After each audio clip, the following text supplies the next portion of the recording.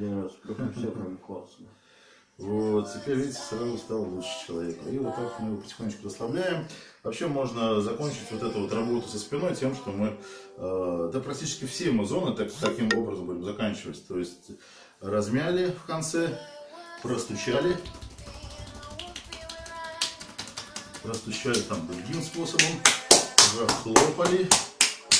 Это я вам буду показывать, что будем хлопать. И протрясли вибрации. Стряски такие добавляем. И человек потихонечку успокаивается. Успокаиваем. Ос. Теперь полежи, поотдыхай немножко, процедура закончена.